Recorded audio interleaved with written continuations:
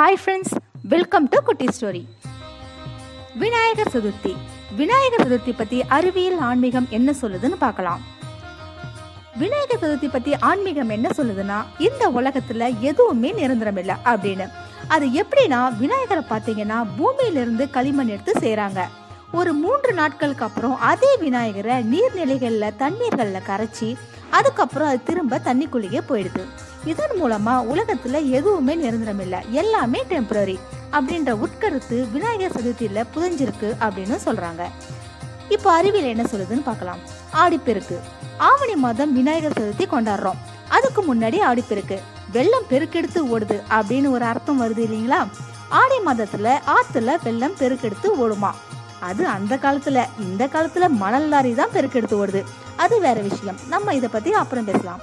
ஆனா அந்த காலத்துல ஆடி மாதத்துல வெள்ளம் பெருக்கெடுத்து ஓடிட்டு இருக்கு ஸோ அந்த வெள்ளம் பெருக்கெடுத்து ஓடுற நேரத்துல மணல் தட்டுகளையும் சேர்த்து அடிச்சிட்டு போயிடுது. மணல் இல்லாததால நிலத்தடி நீர் மட்டம் குறைஞ்சிக்கிட்டே இருக்கு. மணல் தான் நிலத்தடி நீர் மட்டத்தை தேக்கி வைக்கும் அப்படின்றத நம்ம ஸ்கூல் டைம்லயே படிச்சிருக்கோம். ஸோ இந்த மணலை வந்து இந்த வெள்ளம் எடுத்துட்டு போறதை தடுக்கணுன்ற ஒரே நோக்கத்துல உருவாக்கப்பட்டது தான் இந்த விநாயகர் சதுர்த்தி அப்படின்னு சொல்றாங்க. நம்ம முன்னோர்களை பார்த்தீங்கன்னா ஒரு விஷயத்த டைரக்டாகவே சொல்ல மாட்டாங்க. ஒருவேளை அவங்க அப்படி சொல்லி நாம கேட்காம கூட இருந்துக்கலாம் அவங்க எதை சொன்னாலும் அதை மறைமுகமாக மறைச்சி தான் சொல்லுவாங்க எடுத்துக்காட்ட ஒரு விஷயம் சொல்றேன் கேளுங்க. புளிய மரத்துல பேய் இருக்குன்னு சொல்றத நம்ம எல்லாருமே கேள்விப்பட்டிருப்போம். என்ன உண்மையிலே புளிய மரத்துல பேயா இருக்கு? அது காரணம் இல்லைங்க.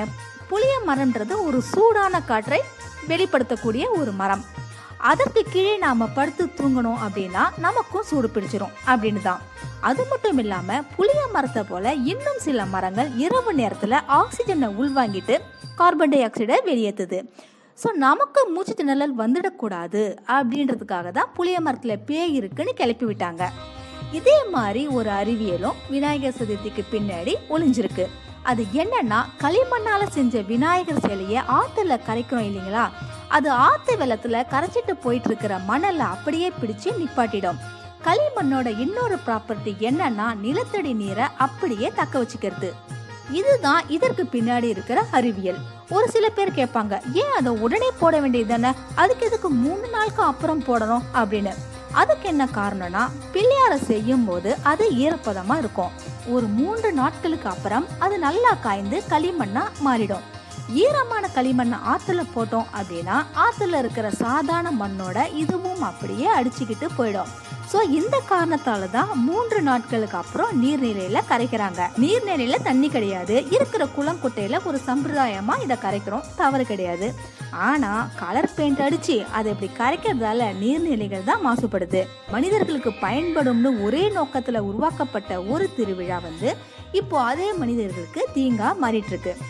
இந்த வீடியோவை பார்த்துட்டு இருக்கிற உங்ககிட்ட நான் என்ன சொல்கிறேன்னா பிள்ளையாருக்கு பெயிண்ட் அடிச்சோ இல்லை கலர் அடிச்சோ தண்ணியில் கரைக்காதீங்க. அது பார்க்க அழகாக இருக்கலாம். ஆனால் நம்ம முன்னோர்கள் இந்த ஒரு சம்பிரதாயத்தை கொண்டு வரல.